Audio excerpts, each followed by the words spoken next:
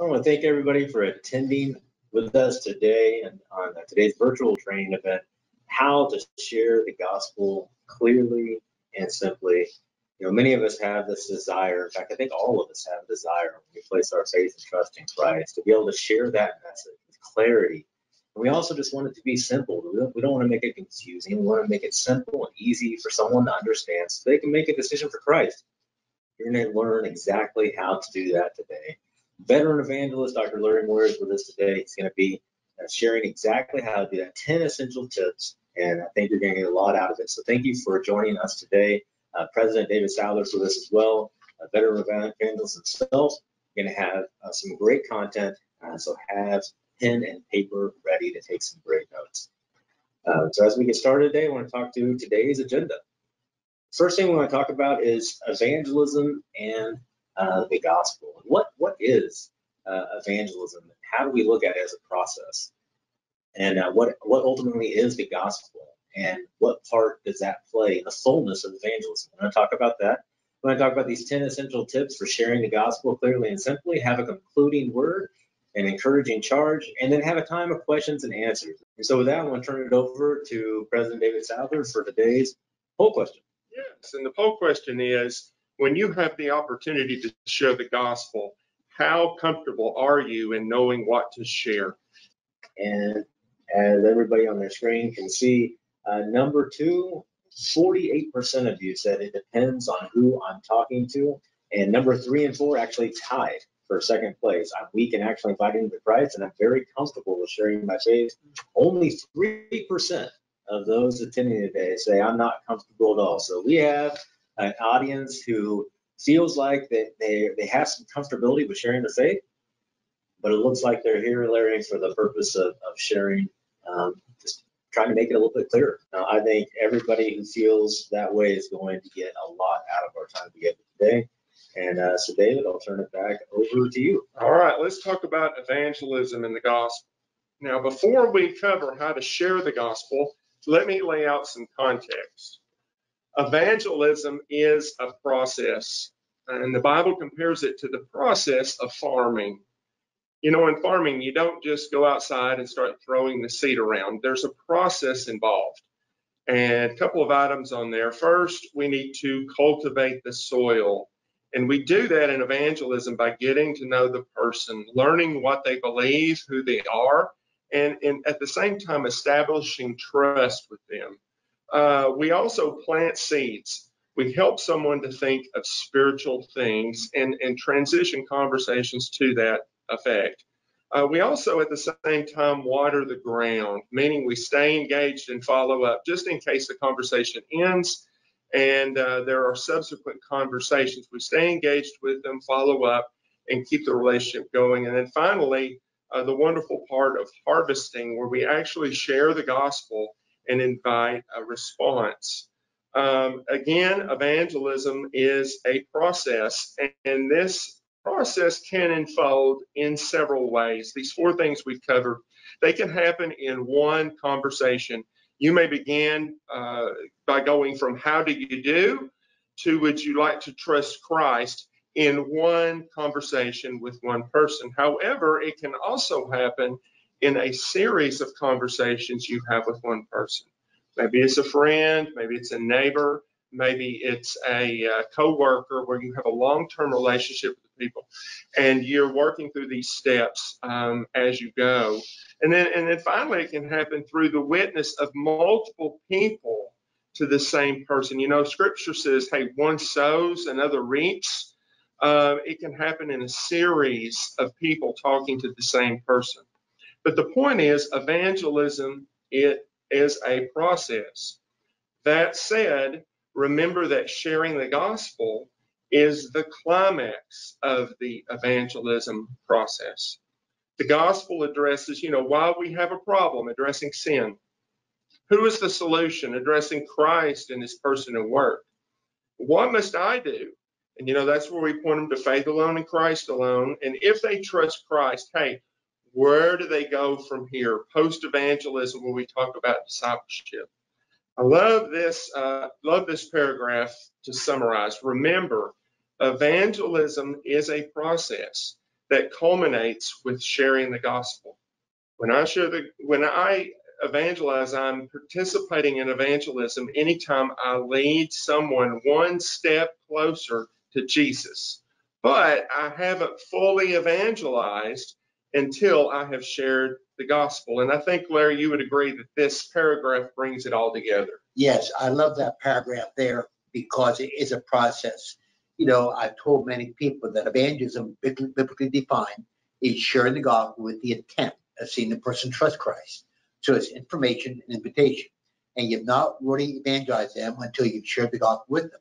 But you cannot look at that as a point. You got to look at it as a process because sometimes, as you said it well, David, you don't have a chance that first time. It's the second time, third time.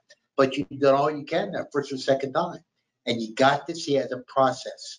J.I. Packer, in his book, Evangelism and Sovereignty of God, said you do need a friendship. But some friendships are built in five minutes. Others may take months. And that's the thing to be sensitive to. That sometimes you're someone that God's already done the preparing and he brought you there to actually invite them to trust Christ. Then other times there has to be more of a bridge building. But you got to look at it as a process. You know, you want them to come to the point they've been fully evangelized because they've been formed and they've been invited.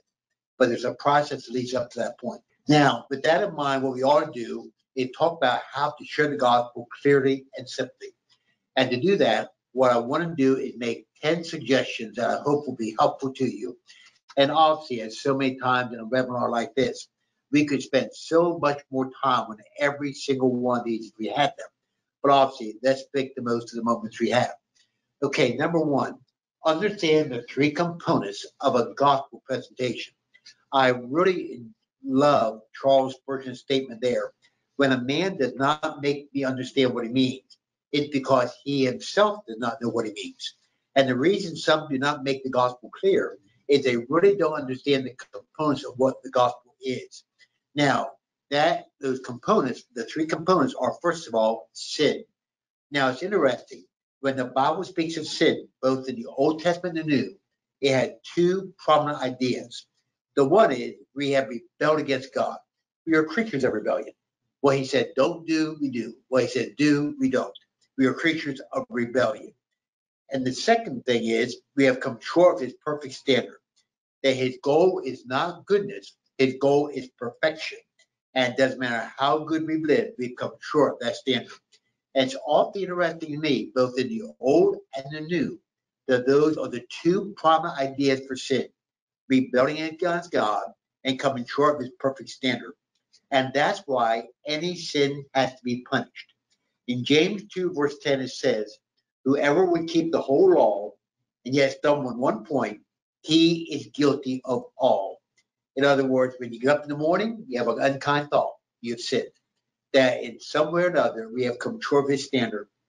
The illustration is often used, and I think is a good one, that you can tie a boat to shore with a chain, but it doesn't matter if you break one link or five links. That boat is separated from the shore. In the same way, one unkind thought, what have we done? We rebelled against God and we come short of his perfect standard. And first of all, you have to understand the issue of sin. Then the second component of the gospel presentation is substitution.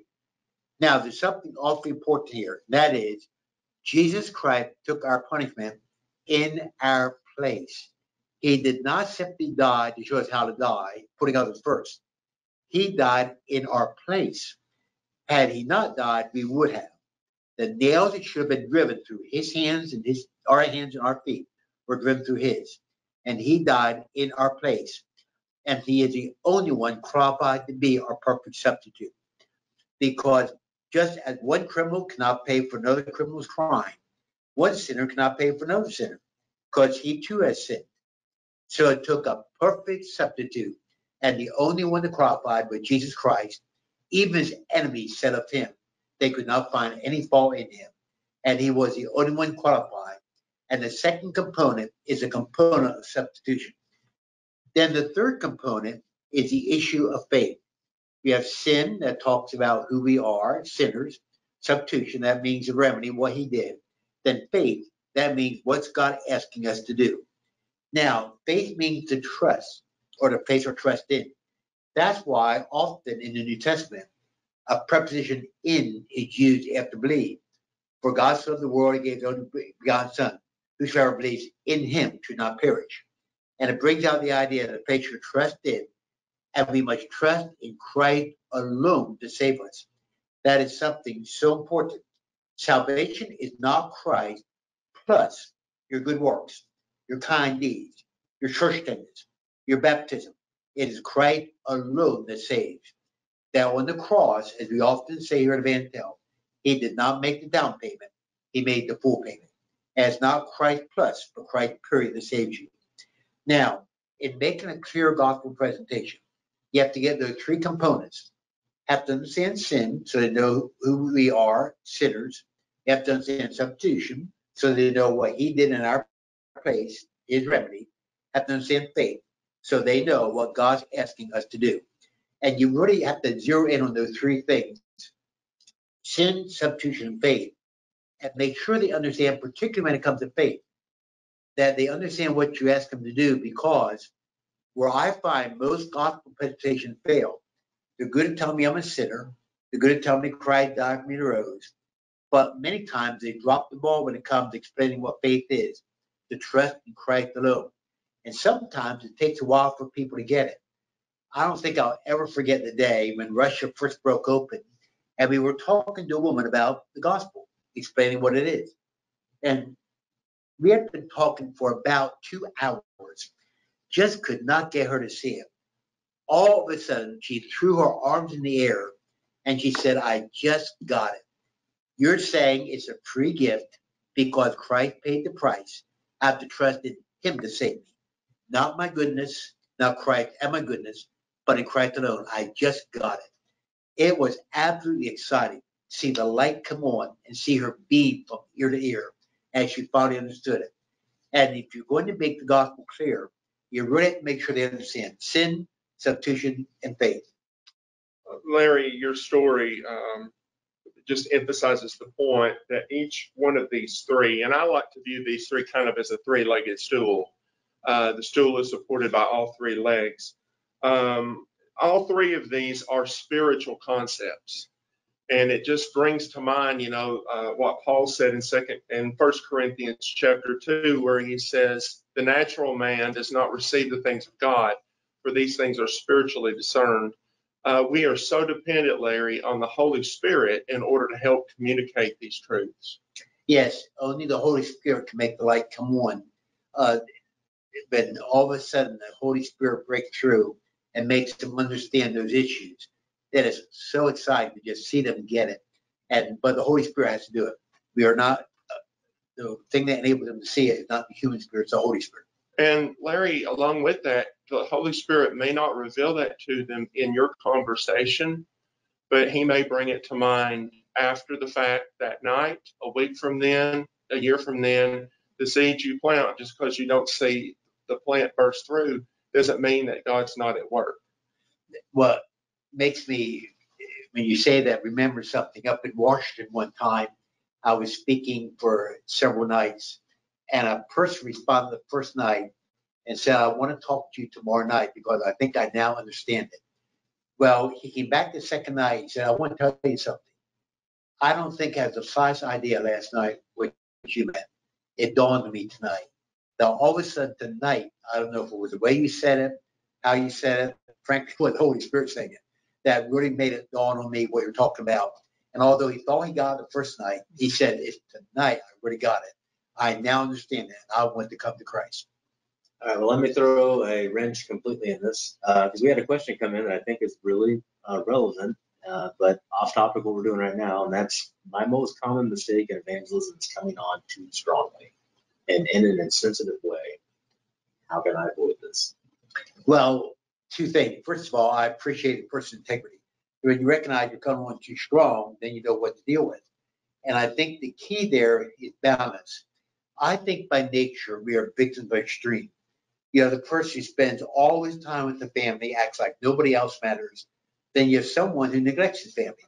You have someone who's a spendthrift, doesn't watch his spending, someone who's too much on the stingy side. I think by nature our depravity makes us victims of extreme. And sometimes coming on too strong You simply have to back off and say, God, I want truth, but then help me to have grace with them. And what helps sometimes is to get feedback from people that when you're teachable, which I think this person's saying they are, get feedback from people. Did I come across too strong? Uh, did you understand what I was saying? Do you think I could have said it better?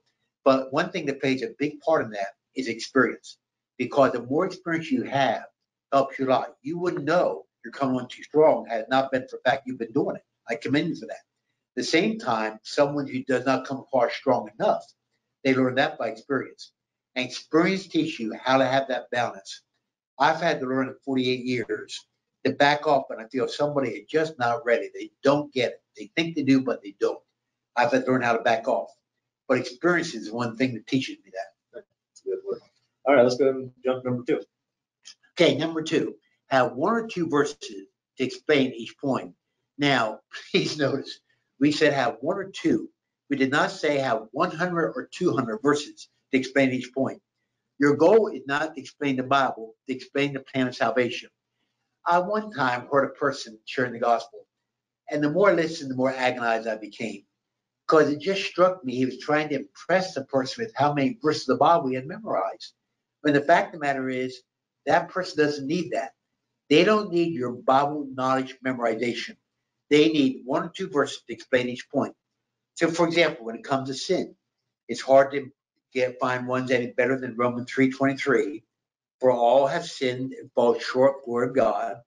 Romans 6:23, wage of sin is death. When it comes to substitution, a favorite for many, myself included, Romans 5:8. But God demonstrates his own love toward us, in that while we were still sinners, Christ died for us. When it comes to faith, favor of many, again, myself included, is Ephesians 2 8 and 9. For by grace you've been saved through faith, that not of yourselves, it's the gift of God. Then it says, not of works. A phrase many has never have never seen, lest anyone should boast. Now, having said on one or two verses, please understand though we are saying it is important to quote scripture because as a remember there says it's essential to cite scripture when sharing the gospel because it's the immeasurable power in the living and active word of God. God has not promised to bless your word. There is no power in the words of David Souther, Larry Moyer, Rock Henderson. God's only promised to bless his word. And that's why, although you only use one or two, you do use scripture. Because God, they have to know this is not what you're saying, this is what God's saying. Now, a third one, and this is uh, right up there with uh, using scripture, but for a different reason. Use illustrations as you go. Now, the bottom line is very simple. When you say something, I hear it. When you illustrate it, I see it. So when it comes to sin, we miss the mark when trying to obey authorities in our lives. We've done the same thing with God. No, the speed limit sign says 65. No, I'm going to drive 75. My parents tell me not to do something. I do it. They tell me to do something. I don't do it. A person one time made the comment, I never had a desire to walk on grass until I saw a sign that said keep off the grass. Then I wanted to walk all over. We are creatures of rebellion. Use the illustration about how we rebel in our own lives. Then substitution.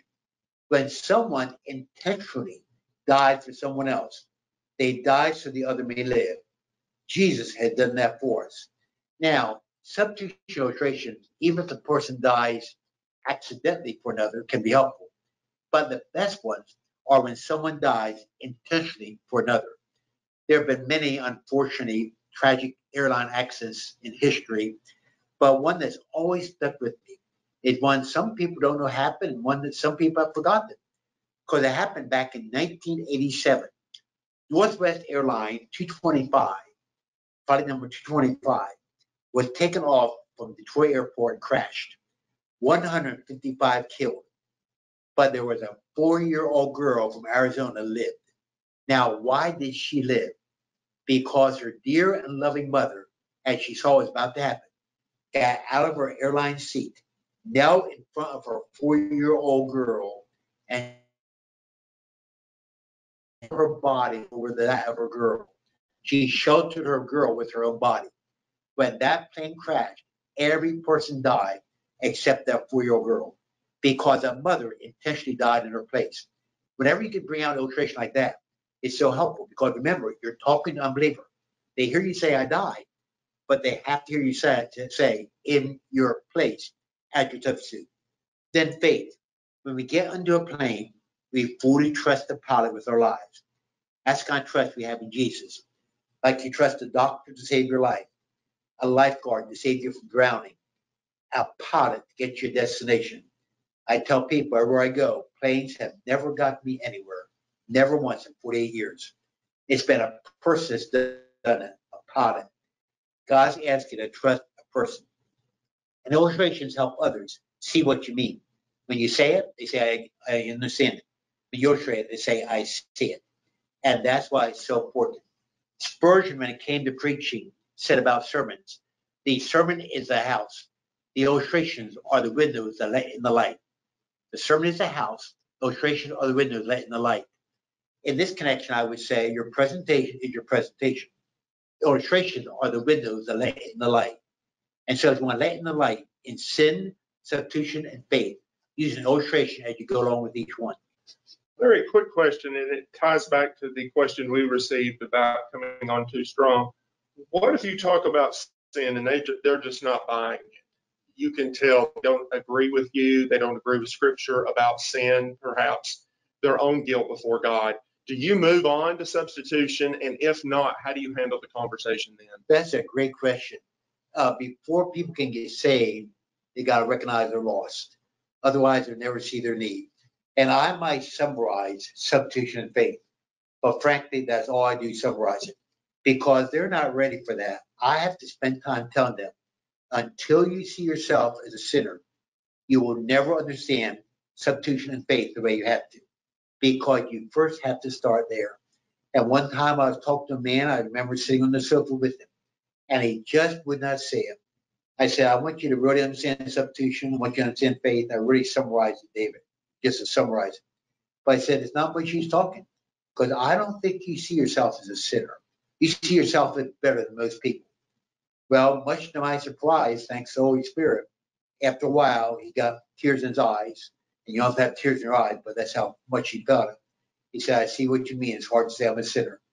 I said, you can't say I'm a sinner deserving of hell, just like any murderer out there, any thief, then you cannot come to Christ because you have to see yourself as a sinner. So you just have to hold up there. And we also just had a comment come in that, that uh, says our culture does not like to even use the word sin. And I think that's true for people in the church as well when they're trying to explain the gospel. They feel uncomfortable even using that word. Yes, and sometimes use the word rebellion. We have broken God's commandments law, but I don't shy away from sin as much as some do.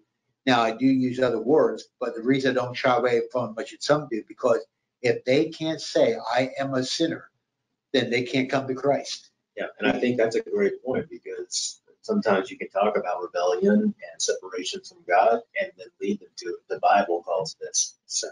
Because Yeah. they may have their own misunderstanding about what sin is. Yeah. Okay, This is what Christians think sin is. And when you explain to them, then they actually see their problem and then you say, oh, the Bible actually calls that sin.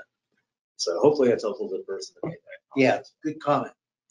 Now, number four, be aware of three essentials that enhance clarity and understanding. Now, the three essentials will be very helpful to you. They are clarity, patience, interaction. Let me talk about the three, clarity and presentation. Are you easy to follow? Now, try to really be honest. All of us want to say yes. But is that really true? Try, try to put yourself in their shoes. Would I have any difficulty following you as you go through your presentation? Then patience. As you share, are you going too fast? The tendency is not to go too slow. The tendency is to go too fast. A person who one time ministered on a mission field said, there are three essentials to being effective in this field. They said, what are they? He said, first is patience, second is patience, third is patience. It takes patience because as David said earlier, they don't always see it the first time, second time, the third time. Uh, one time a person came up to me at an evangelistic meeting, I forget now, somewhere in the Midwest, I remember that, but I forget exactly where. He said, I heard it, I heard it, I heard it, but tonight I heard it. And all of a sudden, it broke through, but it took patience. Then, the third thing, I could talk all day about if we had the time, interaction. If you take interaction out of evangelism, you have absolutely killed it. Because you need interaction you perceive. Are you asking questions, feedback? Do you understand what I've just said? Let me give it back to you. If I asked you, how do you know we're sinners? What would you tell me? If I asked you, why Christ have to die for me? What would you tell me? I have him give it back to me.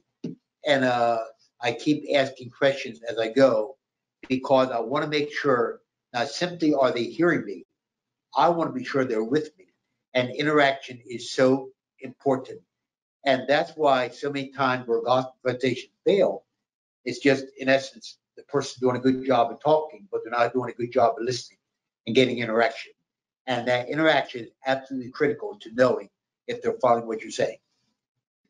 Now, a fifth one, something we emphasize a lot here at EvanTell for good reasons. You have to have a method that clearly explains the three things sin, substitution, and faith. Most people consistent evangelism have a basic message they use to present the gospel. Now, you come differently, you come out of it differently, you change your illustrations, but you have a basic method to share the gospel. One person said to me one time, I really don't have one. I do it different every time. I said, okay, suppose I'm lost, lead me to Christ. Well, he told me how I did. I said, now, do you emphasize this each time? He said, yes, I do. I said, what about this? Do you emphasize this each time? He said, yes, I do. I said, you do have a method. You're changing some parts of it where you come into it, out of it. He said, well, you're right. I've not met anyone that's consistent. I really emphasize consistent that does not have a basic method. And that method encourages three things clarity, confidence, and consistency. The people have a method. They have, they have clarity, they have confidence, and they are consistent. They actually want to do it. They don't go out with I have to do it. They go out with I want to do it. And for that reason, some consider EvanTell bad news, good news. That's my favorite, one I use the most. Some love our crosstalk. Cross talk is very popular with people. And then some love, like the church I just came back from yesterday, they love John 3.16. We developed John 3.16 in the gospel presentation. God cannot love you a more than he loved you because God so loved the world. God cannot give you a more than he's given you because he gave his only son. God cannot make any separate he's made it, whoever believes in him. And people love John 3.16. He's taught his whole church to use John 3.16. He and I even went out for dinner. And this shows, first of all, the approachability of people. He talked to the waitress and he said, you know, if you're looking for a church home, and she said she was, I'd love to have you come visit us there in McKinney, Texas. And he said, we spend time talking about three things God cannot do. He went through those three things with that woman, and she was so receptive and open. And people sometimes uh, use that, but the point is, have a method. It doesn't matter which one you use, you got to have a method. You know, just want to reinforce here, Larry, that when we when we recommend having a method, we're not saying you need to memorize a manuscript or memorize the script. We need to have a roadmap, though, that includes those three elements of the gospel. Yes, a roadmap is a good word because it includes sin, substitution, and faith, but by no means memorizing. Uh, I, I tell people I have mastered, not memorized. That's the difference. Okay, now number six, be sensitive Sensitivity is so important to evangelism, but do not get sidetracked. If they ask a question that's not crucial to the discussion, first of all, commend them for their question. Curiosity. I love saying that you ask good questions. Offer talk after discussion or set a future time. I even say that could we write that down and right after we're done with this, I'll go back and answer that. That way we won't get sidetracked. I don't know one case where they've not said that'd be fine. Now, be sure to keep your word and go back and answer it because you said you would. It's interesting how many times they say, well, that's really not important anymore. Because when they understand Christ died in their place, a clear presentation of that. It's amazing how many questions that takes care of.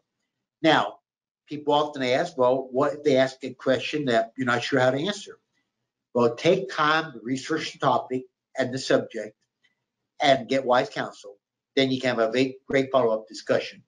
So you can go back to them and say, hey, uh, you asked a question, I did not know the answer. That's very honoring to God, helpful to say, I don't know. But I looked it up and here's the answer. Now, now that two things happen. First of all, you're helping that person because you're answering the question they had. That was a good question.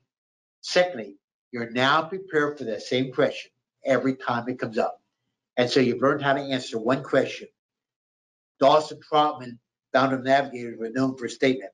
They may catch you once, don't let them catch you twice the same question. And so if you don't know the answer, just look it up and get ready next time. But be sensitive, but don't get sidetracked. Got a quick question, really a two-parter here, Larry. First of all, what are some uh, things that you can give our listeners uh, to let them know what questions are crucial versus what questions are not? Secondly, for those questions that are not, what is your method to defer those questions to later? Can you give us some practical advice there? If it's a question, that's a great question there. If it's a question that relates to the central truth of what I'm sharing, I'm going to give an illustration. I take time to answer that. If it doesn't, then I say, could we write it down later? And then I'll write this down and then I'll go back and answer later. Now, for example, one person said, now, here's where I'm struggling. It seems so cruel of God to let his son die on a cross. How could a loving God allow his son to die? I said, that's a great question, but that's where love comes in. Because suppose I say to you, I love you, here's my house. You don't know, I may have 10 of them. I may say, I love you, here's a million dollars. How you know I don't have 10 million? But when I say, I love you, here's my son, that's love. God God proves his love. He gave his only perfect son, the one who never knew any sin, to die for those who do nothing but sin. And so if it's germane to the truth I'm sharing, I take time right there to answer. Because we can't go on until he gets that settled. But it's not critical to something related to sin, substitution, faith. I say, let's talk about that later. I've had time people say, hey, let me ask you something. How do you feel about creation? I say, well, that's a good question. Could we answer that? Write that down. I'll go back and answer later. Because I don't want us to get sidetracked what we're talking about. And that's the way you solve that. Now, number seven, give a clear invitation. We'll talk about how to give a clear presentation. Giving a clear presentation means part of it is giving a clear invitation. You're inviting them to faith alone in Christ alone. So the invitation should make it clear, first of all, salvation is based on Christ alone meaning who he is, what he's done for me. I'm concerned how many people there are that are not satisfied with things that satisfies God. He was only satisfied with son's death, nothing else. Not his son's death, plus Larry Moyer's performance, but son's death alone. You gotta be satisfied what satisfies God. The only response God will accept is place my faith in Christ alone to save me. And place my faith in Christ is an internal decision of the mind, the will, the heart is not tied to external action or work. It's not tied to walking aisle, not tied to saying a prayer, not tied to um, signing a card. There may be ways by which I make it known I want to do that, but trust in Christ is an internal thing, mind, will, and heart. I've often used a story that I love of the seminary president who was talking to his class and he said, Now, when I stand before God, if he says to me, Why should I let you in heaven? I'm going to say, Because your son died for me. They said to the class, Now I know this will not happen. But if God were to say, I'm sorry, that's not enough. All I'm going to do is walk away. That's all I have. That is saving faith. If he can't take me to heaven, I'm going to hell. That's all I have. It's an internal decision. The mind, will, of the heart. Quick question, Larry. Uh, regarding that third point, it doesn't involve an external action. I totally agree with you. And I have encountered many adults who say, I'm a Christian because I've raised my hand, because I've walked an aisle. Um, but how do you answer those evangelists or pastors that say, you need to do this because the people that Jesus called, he called them publicly? It demands a public response. How do you address that question or uh, that issue? Two things. I was listening to someone one time, they said, well, I went for it when I was about 15 years old. Well, that's not what I'm asking. So I said to them, if you stood for God, he would say, why should I let you in heaven? Well, He said, Christ died for me. And so I said to him, that's right. It's not because you walk forward. That has nothing do. It's a Christ died for you. Now, when people say, well, everyone Christ called, he called publicly. Now, when it comes to discipleship, that's true. You cannot be a secret disciple. If the discipleship will destroy the secrecy, the secrecy will destroy the discipleship. But the fact is, John 12, 42 says, they believed on him, but did not confess him because of fear of the Jews. There you have a case where somebody sincerely trusted Christ, but did not confess it because of fear of the Jews. And I don't like it when people say, well, we call people called publicly. When it relates to salvation, when it relates to discipleship, yes. Relates to salvation, no. Because somebody can trust Christ, right? The privacy of the room, inside of a closet, in your bed, in your office, on a plane, in a car. Now, I keep saying we're talking about giving a clear presentation. Number eight is important in that. Have them give the plan of salvation back to you. Now, I hope you're picking up the fact that when you want to give a clear presentation, it takes time. It's not something you rush through because you're not trying to get, quote, another notch on your belt. Who cares about that? You're trying to get a person to make sure they understand sin, substitution, faith, and to make a sincere decision. I'm not counting how many people lead to Christ, but God doesn't, that's not God's concern. I bring Christ to them, God brings them to Christ. I want them to make a sincere decision, and that takes time. So I say to them, if I said, what do you have to do to get to heaven? What would you say?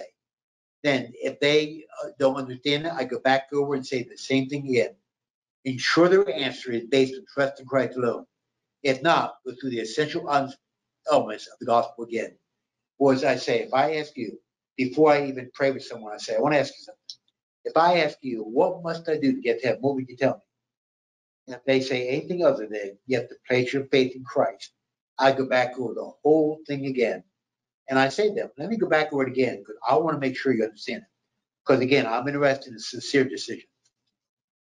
Now, number nine, pray with them as they tell God they're trusting Christ. Pray with them as they tell God they're trusting Christ. Now, what I mean by that is this. Be certain they understand prayer does not save. Christ saves. You're not saved by praying. You're saved by trusting Christ. That's why there's no sinner's prayer in the Bible. Because you're not saved by praying. You're saved by trusting Christ. Prayer is only how they tell God what they've done. And now, people say that if it's not part of salvation, why do it? Here's something I've found in 48 years. It cements in their own mind what they've done. I've seen the practical advantage of this. No saving value. I think they're saved before they ever pray. But it cements in their own mind what they have done. And the other thing is, by telling God what I've done, it encourages me to now tell you. And they walk away from that conversation knowing they told God, I'm trusting His Son. And I found that as a tremendous benefit for an unbeliever. If they so desire, I lead them in prayer, they can verbalize their salvation to God. And I say to them, do two things. Either you can simply pray, and, you know, or you, I can lead you in prayer, phrase by phrase. You can pray aloud with me. The last person I said that to, he said, in other words, as you pray, I'll repeat your phrases with you. I said, yes. I said, now please understand, saying these phrases don't say, save you. It's trust in Christ to save. But he said, I would love to settle that. I said, well, let me pray. You pray aloud with me. So I said, dear God, I'm a sinner. And he said, dear God, I'm a sinner. Nothing to do will get me to heaven. He said, nothing to do will get me to heaven. He went through the whole thing with me, phrase by phrase.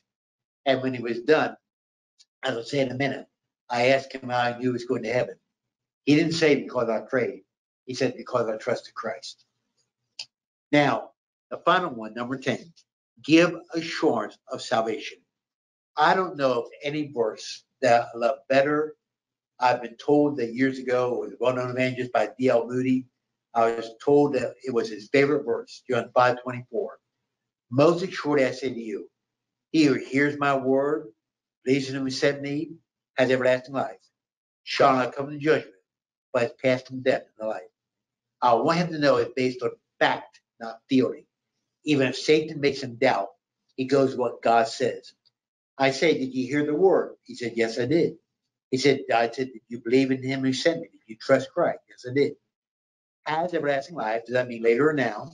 He said, Well, has means now. I said, Right. It's not something you pick up when you die. You got it right now. Shall not come to judgment. There's, they might not have shall. What said shall not? I said, would God ever lie? No. So he's saying, I promise you, never come to judgment, but has passed. That means shall pass or will pass. Or has passed. He says, passed. I said, it's already happened. You have passed, death is real death. So life is real life. I encourage you to memorize that verse within 24 hours. And then I do other things, interact, to give assurance. I say, if you stood before God, He to ask you, why should I in heaven? Would you him? He said, well, I tell I trust in Christ. I said, where would you go if you died one year from now? He said, heaven. I said, what about five years now?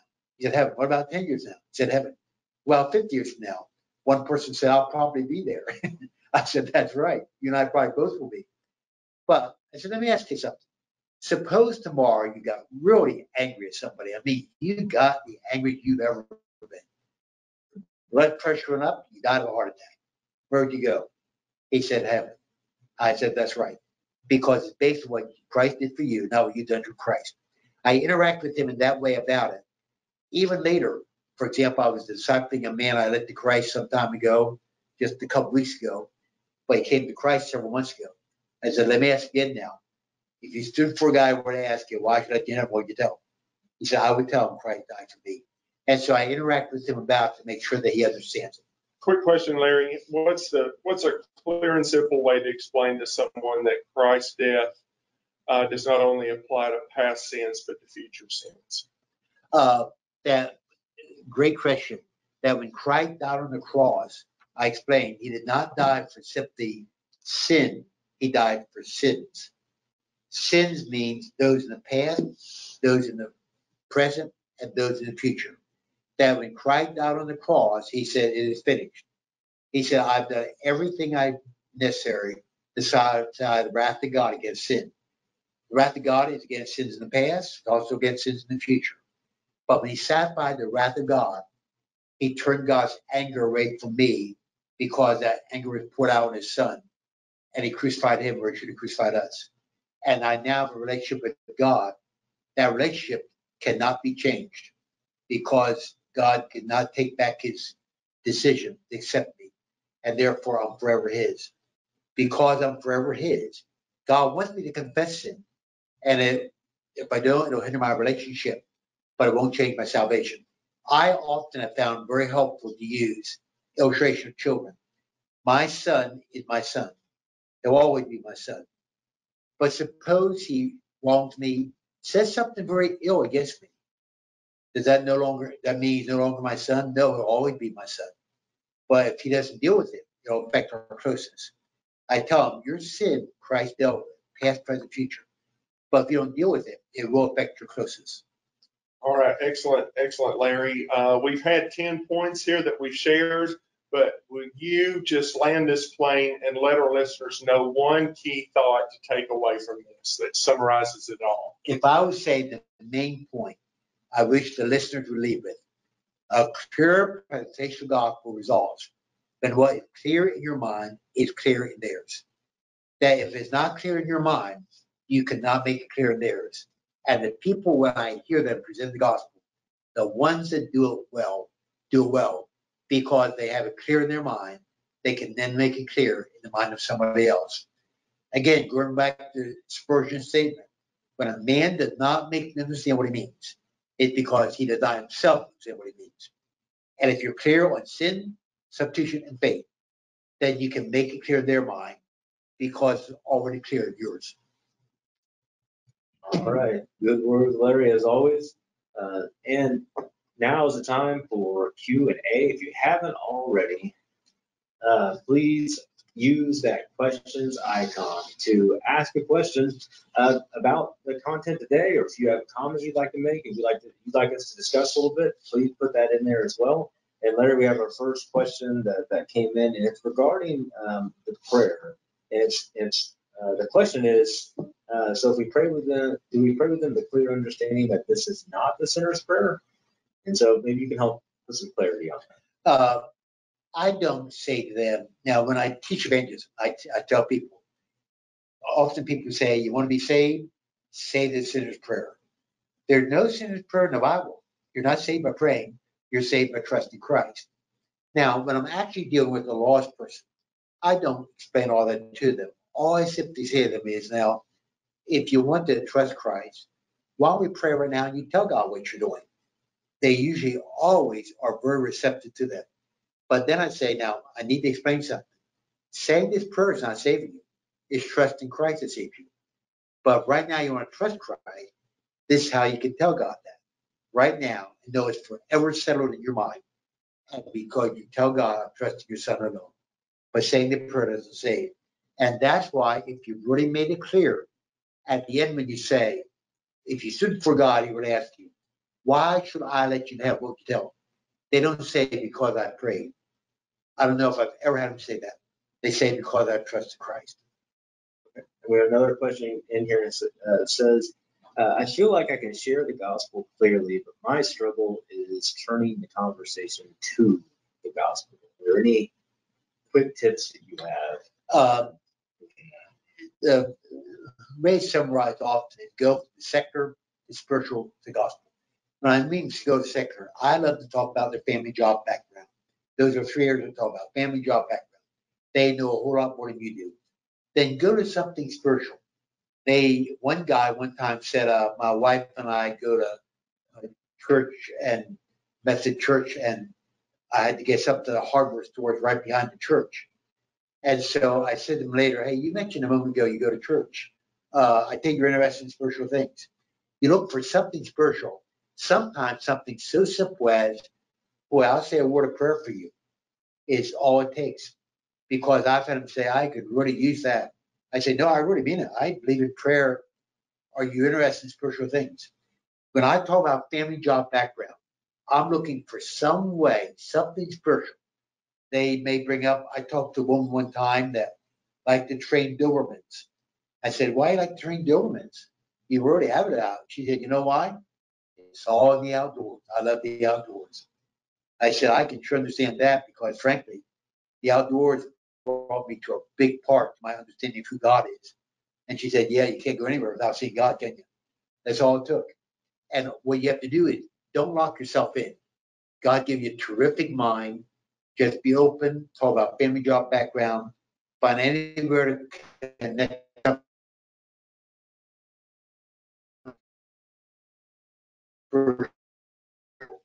Now, remember, this is all about what God says something spiritual is doing. He said, Lo, I'm with you always. Get alone. So the same time I'm talking to that person, I'm whispering to God.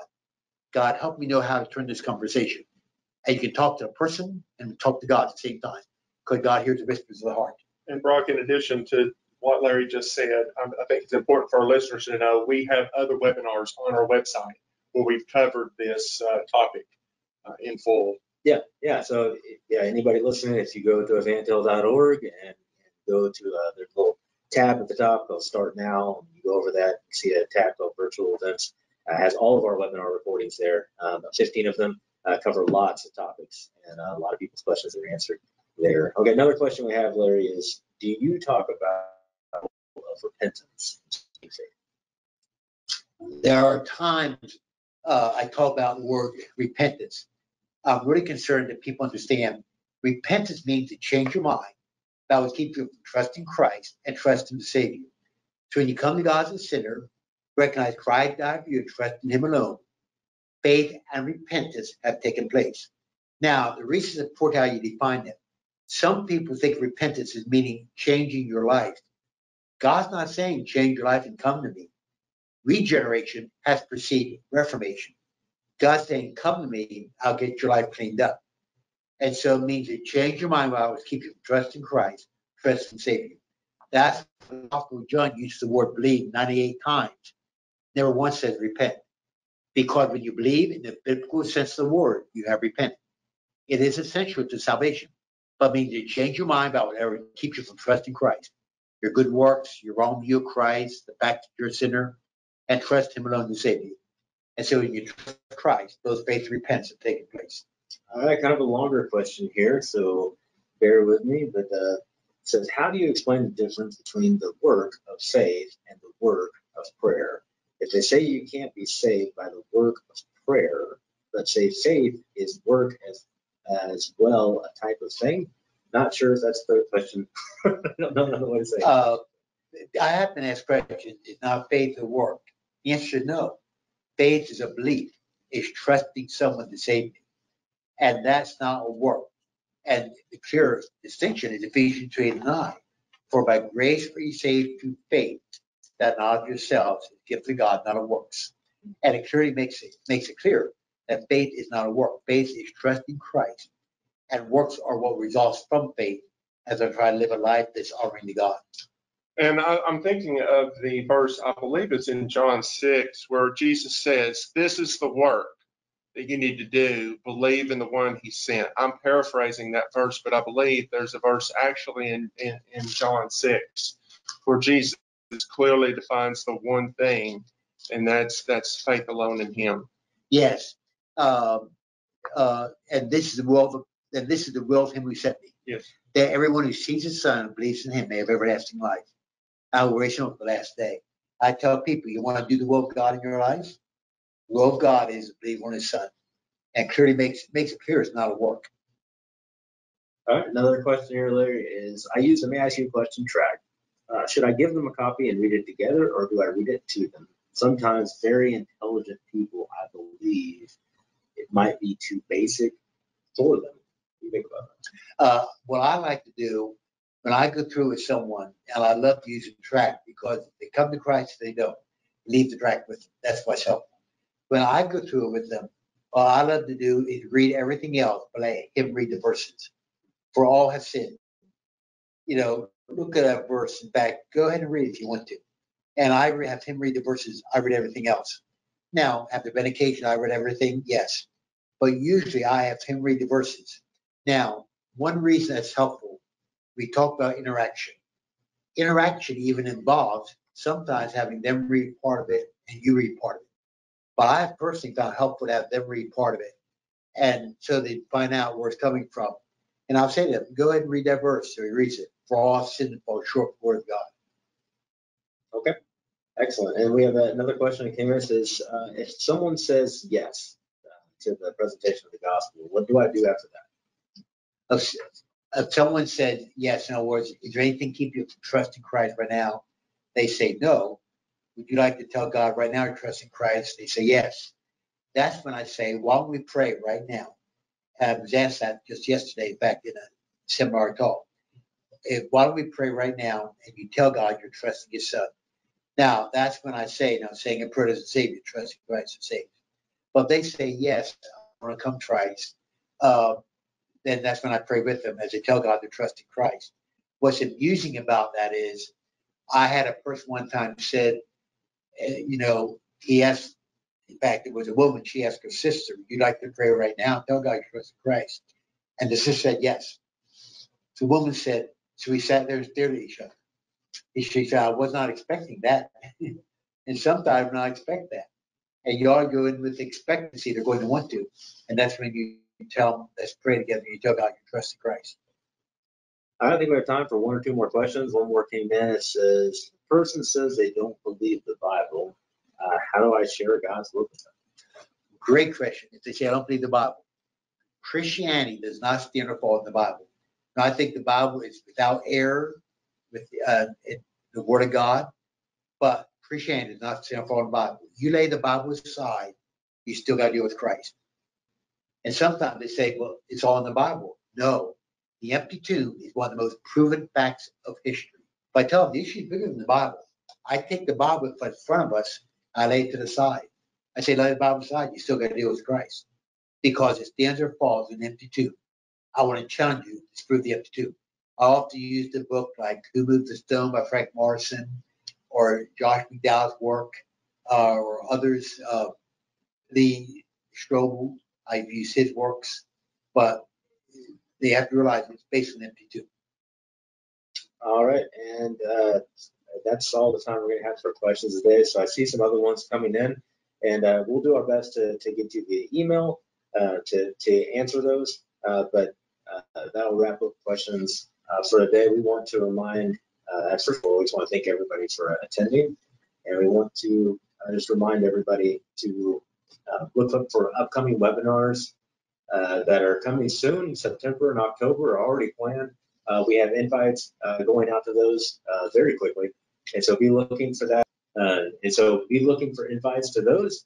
And with that, we just want to uh, invite everybody to, to go to evantell.org and to look at all the resources. We have webinars, we have blogs, we have videos, uh, we have countless resources there to help you share your faith more effectively, with confidence, clarity, kindness. And we ask you to go there and check it out. Uh, these webinars, these virtual trainings, everything we do is made possible when uh, people like you that are passionate about EvanTell, passionate about the gospel, support the ministry. If you have any desire to do that, uh, head over to evantell.org slash support and, and just support us any way you can. Every donation matters, every donation helps, and it just helps us uh, further the gospel and further the kingdom of God. So thank you for attending today, and I hope everyone has a wonderful rest of the week.